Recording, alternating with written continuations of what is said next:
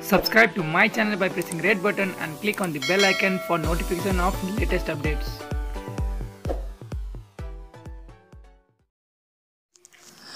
सङ्घीय संसद प्रतिनिधि सभाका सभामुख कृष्णबहादुर महराले आफ्नो पदीय मर्यादा विपरीत आम नागरिकले सोच्न पनि नसक्ने हरकत गरेका छन् महराले संसदमै काम गर्ने एक महिला कर्मचारीलाई उनकै डेरामा गएर जबरजस्ती करणी गरेको आरोप लगाएकी छिन् आइतबार साँझ ती महिला कर्मचारी स्नेह नाम परिवर्तनलाई सभामुख महराले तिनकुने स्थित उनको डेरामै गएर जबरजस्ती करणी गरेको आरोप लगाएकी हुन्। मदिराले लट्ठ भएर स्नेहाको डेरामा गएका महराले त्यहाँ जबरजस्ती उनलाई मदिरा पिलाएका थिए। मदिरा सेवन आफूले लिएर गएको उनले रन्याक्सका लागि काजु बदाम समेत लगेका थिए। आफ्नो घरमा श्रीमान नभएको र श्रीमती नभएको बेलामा नआउन भने पनि महराले सो कुरालाई सुनेनन्। बरु सुरक्षाकर्मीलाई साथ लिएर उनी करणी गर्न मनसायले स्नेहाको डेरामा पुगेको उनी त्यहाँ गएको हरकतले समेत पुष्टि गरेको छ। सामुदायिक मार्गमा गाडी रोकाई त्यहाँ सुरक्षाकर्मीलाई छाडेर भित्र गएका उनी अरू दिनमा भन्दा डेरामा प्रवेश गर्ने बित्तिकै फरक रूपमा प्रस्तुत भएका थिए। पारिवारिक सरहको साइनो भएका कारण महरा र त्यहाँ बेला बेलामा गइरहन्थे। महरालाई उनले आधारले सर भन्ने गर्थिन्। जबरजस्ती भएपछि पहिलो पटक कुरा गर्दै स्नेहाले भनिन् ढोकाबाट प्रवेश गर्ने बित्तिकै महरा सर मेरो बेडरुममै प्रवेश गर्नुभयो। दुईवटा खाट भएको बेडरुममा ठुलो खाटमा बसे। उनले आफूसँग ल्याएको रक्सी र स्न्याक्स निकाल्दै त्यसलाई खानाका लागि गिलास र प्लेट लगाउन आ हराए। पहिले नै रक्सी खाएर आएका महरालाई उनले रक्सी नखान आग्रह गरिन्। स्नेहा भन्छन् तर उनले मानेनन्। कतिपय चाडपर्व र काजबारमा सोसल ड्रिङ्कको रूपमा वाइन कहिलेकाहीँ पिए पनि हार्ड ड्रिङ्क आफूले नलिने उनले बताइन्। उनले त्यसो भन्न नपाउँदै आज दसैँ मनाउने हो भन्दै महराले उनलाई पिउन दबाब दिए। सभामुखको दबाब झेल्नै नसकेपछि दुईवटा ग्लास लिएर साथ दिन बसेकी स्नेहालाई महराले फेरि भने किन दुईवटा ग्लास ल्याएको? आऊ एउटैमा पिउँ स्नेहाले एउटै ग्लासमा रक्सी खायो भने कडा लाग्छ भन्ने सुनेको उल्लेख गर्दै त्यसो गर्न नमानेको बताइन्। त्यसपछि महराले रक्सी सर्भ गर्न भनेपछि उनले दुईवटा ग्लासमा राखेको मध्ये एउटा उनलाई दिइन्। एउटा ग्लासको बाध्य भएर मुखमा टसाइन्। करिब एक लिटर बोतलमा रहेको रक्सी आधा सकिएपछि महराले आफ्नो दानवी अनुहार देखाउन थालेको उनले रुँदै भनिन् जुन कोठामा स्नेहाले महराको खातिदारी गरेकी थिइन् त्यही कोठामा उनी आफ्नै सहरबाट लुटिन्। उनको जीवनमा यसअघि पनि महराले दुर्व्यवहार नगरेको भने थिएनन् तर महराले उच्च राजनैतिक हैसियतका अगाडि उनले त्यसलाई दबाएर राखेकी थिइन्। अलिअलि जिस्के पनि करणीमै उत्रिने भन्ने आफूले नसोचेको बताउने स्नेहाले आइतबार भने नसोचेको नै भयो। महराले रक्सी खुवाएर मताएपछि आफूलाई बलात्कार गर्लान् भन्ने उनको कल्पना बाहिर बाहिरिएको कुरा थियो तर उनको नियतिमाथि नै वज्रापात भयो। रक्सीले मातिएका महराले उनलाई करणी प्रयास गर्दै उनकै बेडमा लडाए। स्नेहाले आँखाभरि आँसु पार्दै भनिन् आफूभन्दा बलियो मान्छे महराले उनलाई एकैपटकमा बेडमा लडाइहाले। उनले प्रतिकार गर्ने प्रयास गरिन् तर उनको प्रयास खेरा गयो। बरु उल्टै महराको प्रतिकार गरिन्जेल कपालमा समातेर कुट कुटाइन खाइरहनु पर्यो। अनुहार र जिउको निलढाम देखाउँदै उनले भनिन् एक्लो अबला देखेर मलाई लुट्नु लुटिरहे महराले। अन्तिम समयसम्म पनि प्रतिकार गरिरहेकी स्नेहाले झलक्क प्रहरी सम्झिहालिन्। उनले आफूले प्रहरीलाई खबर गर्छु कि त छैनस् कि म छैन भनेर चिच्याउन थालेपछि महरा केही हिचकिएका थिए। चारवटा कोठा रहेको सो फ्ल्याटमा एउटै रहेकी उनले सो क्रममा घरबेटीलाई दिदी भनेर बोलाएकी थिइन्।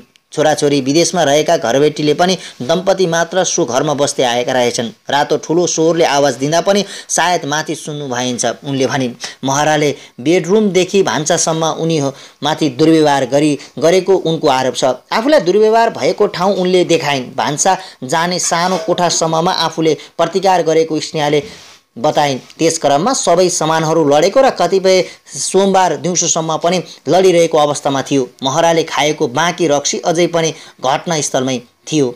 सानो कोठामा भुइँ देखाउँदै स्नेहाले भनिन् यही भुइँमा राखेर सबैभन्दा बढी कुट्यो मलाई महराले। मुखभित्र औँला छिराउँदा जमेको रगत देखाउँदै भनिन्। अहिले पनि महराको कुटाइले जिउ पुरै थिलथिलो भएको छ। अनुहारमा मुक्कै मुक्काले हान्दा लागेको चोटदेखि नली खुट्टामा समेत उनको त्यस क्रममा चोट लागेको छ। टाउको भुइँमा बज्रिँदाका कारण टुटुल्को उठेको समेत उनले बताएकी छिन्। जतिसुकै प्रतिकार गरे पनि महराको काम वासनाको शिकार भएकी स्नेहाले आफूलाई बचाउन नसकेको उनको तर्क छ। महरसँग हारेकी उनी बुढो जस्तै लडी मुडो जस्तै लडिरहन्। महरा विजयी भावना त्यहाँबाट सभामुख निवास फर्किए। तर त्यहाँबाट फर्किने क्रममा महराको चस्माको एउटा ग्लास त्यहीँ फुटेर झरेको रहेछ। जुत्ताको भित्री तलुवा पनि स्नेहाले तान्दा त्यहीँ झरेको रहेछ।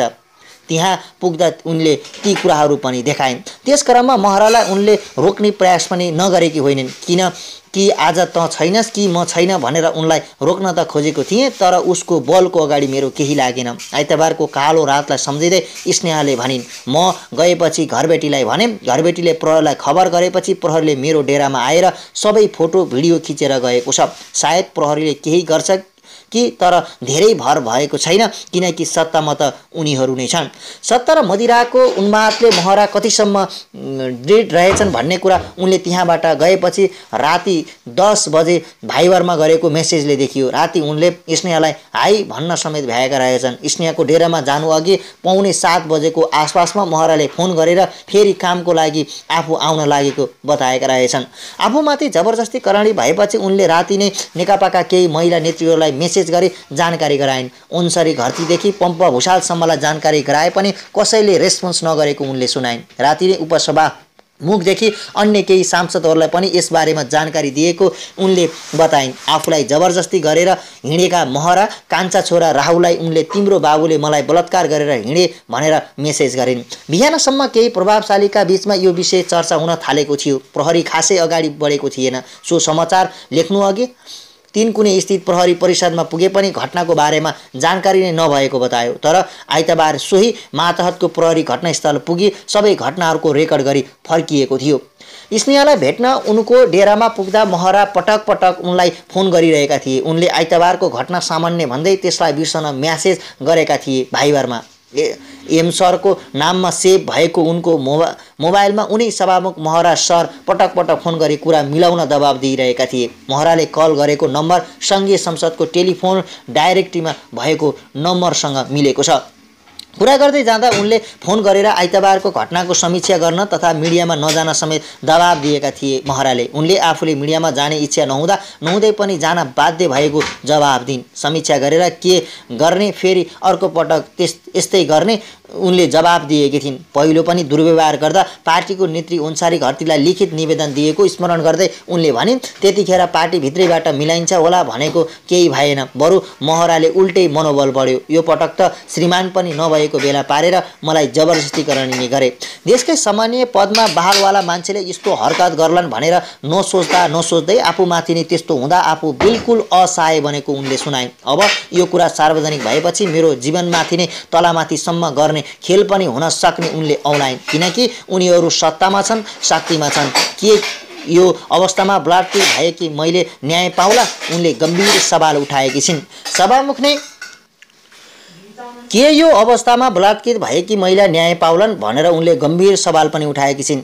राष्ट्र प्रमुख नै महिला भएको देशको सभामुख जस्तो सामान्य पदको व्यक्तिले गरेको यो हरकतमा उनलाई कारवाही होला कि मलाई नै बदनाम मात्र गरिएला? उनले एउटा खुल्ला पत्र नेपाली समाजलाई सोधेकी छिन्। घटना लगत्तै त्यहाँ पुगेको तिनकुने प्रहरीले घटनाको सबै जानकारी लिएर उजुरीको लागि कार्यालयमा आउन भने पनि पीडित भनिएको व्यक्ति नआएको बताएको छ। उजुरी दिन पीडित भनिएको व्यक्ति नआएको बारेमा कार्यालय अनभिज्ञ रहेको प्रहरी परिषद तिनकुनीले जनाएको छ। पीडित महिलाको डेरामा आफू आइतबार राति गएको गरेको सभामुख महराले स्वीकारे। उनले महिलाले भने जस्तो केही नभएको उल्लेख गर्दै एक दुई दिनमा भेटेर बताउने समेत बताएका छन्।